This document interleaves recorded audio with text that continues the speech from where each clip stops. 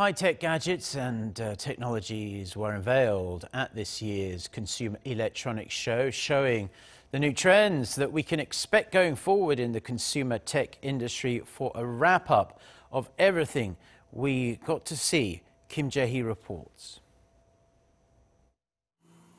From bendable television screens to dishwashing robots the size of humans, some 2,000 exhibitors from around the world display their eye-catching products.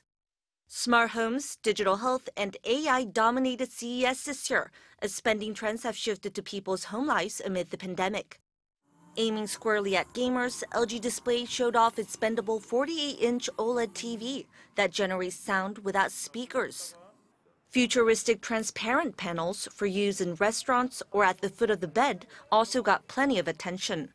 As well as promoting its micro-LED and Neo-QLED TVs, Samsung Electronics unveiled its new smart home devices, ranging from AI-powered robotic vacuum cleaners that can spot and avoid obstacles, to human-sized bot-handy robots that can do daily chores, like pouring a glass of wine or placing dishes in the dishwasher.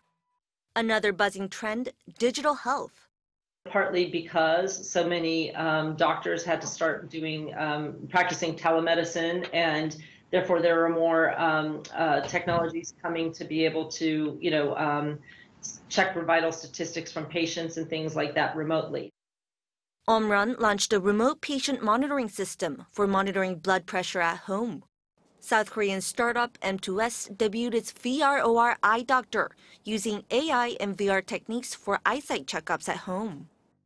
Whatever the device may be, the common technology was AI.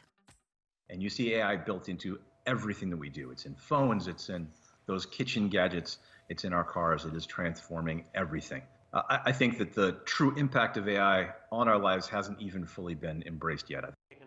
Remember Neon? Samsung's artificial human is back, but this year more lifelike than ever before. But LG is not lagging behind with its own virtual human, Reah Keem, already a popular influencer with thousands of Instagram followers. Hey y'all! I'm Rhea, a songwriter and DJ. Being a musician, you know, traveling is a big part of my life and inspiration.